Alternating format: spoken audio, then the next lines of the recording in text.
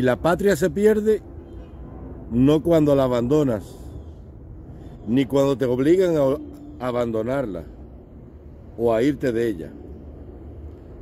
La patria se pierde cuando pierdes el sentido de la responsabilidad, del deber y compromiso con ella, que es el patriotismo. Por eso el sistema se encargó de crear un hombre especialista en tirar tomate y lanzar huevos. Por eso lo, lo dejaban que en el transporte público, acabado de comprar, con el dinero del pueblo, le escribieran Chucho y Chucha se aman, un corazón con una flecha. Y lo hicieran lo mismo en la cabina telefónica, y en la pared, y en el espacio público. Para destruir un hombre que no tuviera sentido de responsabilidad y compromiso sociales. Esa fue la especialidad del comunismo.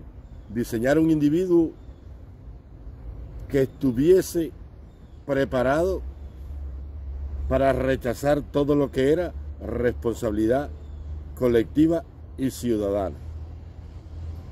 Por eso te secuestraron la historia.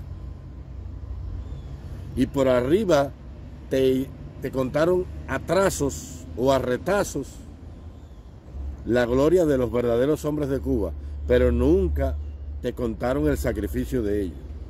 Te ponen un martí de los zapaticos de rosa, te ponen un Maceo protestando en Baraguá, te ponen un Máximo Gómez solidario, internacionalista y proletario que sacrificó todo por la causa de Cuba, pero no te ponen lo que hay detrás de todo eso y lo que los hombres tuvieron que pasar antes de la guerra, en la guerra y después de la guerra.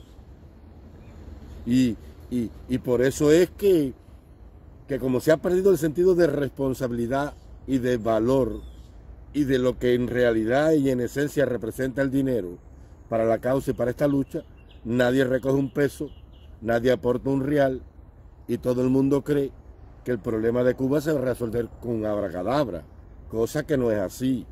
En la fantasía del doctor Boroná hay un pueblo que se va a tirar para la calle, de Maicía San Antonio, y van a hacer una huelga general como la del 9 de abril, después de la reunión de los Altos del Montpié, o antes, perdón, o la del 1 de enero del 59. Porque en su fantasía idílica y quijotesca, este señor cree que la Cuba que la abandonó es esa misma Cuba que hay. Y, y, por eso te quitaron la historia y te la secuestraron para que tú no sepas tener como ejemplo los aciertos y desaciertos del pasado para tú acertarlos o no cometer esos errores hoy. Y a Pablo, por eso es que a Pablo Milanés lo despiden en el exilio. Muchos exiliados, siempre digo que hay algunos que no, como un héroe, como un paladín de la libertad y de los derechos humanos del pueblo de Cuba, cosa que no fue así. Y ahí es donde se pierde la seriedad, y la honestidad, porque cuando no hay responsabilidad, no hay sentido del deber y no hay vergüenza, entonces pasan estas cosas. Lo que ese día se gastó en gasolina daba para asistir a la familia de todos los presos políticos en Cuba. Pero no te contaron lo que Martí hacía sobre estos temas, porque había una bolsa grande para la causa, pero estaba la bolsa chica también en la recaudación y el tesoro del Partido Revolucionario Cubano. Y el dinero de la bolsa chica era para ir a socorrer a los familiares de, la, de, los exiliados, de los presos políticos, porque Cuba seguía manteniendo presos políticos.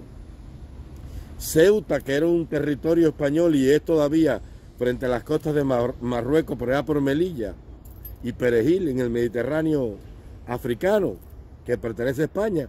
Ahí en Ceuta estaba la prisión española. Era una mazmorra como el príncipe. Y ahí el general Calixto García cumplió 12 años de prisión después del intentona de la guerra chiquita, que fue del 78-79 cuando se levantó y los españoles lo cercaron porque no tenía fuerza en aquella moral y lucha de resquebrajada y se da un tiro en la boca y casi se arranca la tapa de los sesos. Y los españoles lo cogieron, lo curaron, lo llevaron preso allá. Y después lo liberan y se incorpora a la guerra procedente de Nueva York. Entonces, Martí iba con una bolsa a recorrer el, el mundo del exilio político cubano y a socorrer a las víctimas, a las viudas, a los hijos, a los huérfanos de aquella guerra. Eso no te lo contaron. Por eso que en el exilio no hay un arca con seriedad para recoger reales. Por eso la esposa de un preso político tiene que ir con un par de cocalecas allí a ver a su marido y vender coquito porque no tiene un vasito de, de agua con gofio para darle a su muchachito. Mientras en el exilio se bota todo el dinero yendo a despedir a un acólito, acólito del régimen como fue Pablito Milani. Y por eso es que hemos perdido el sentido de la responsabilidad.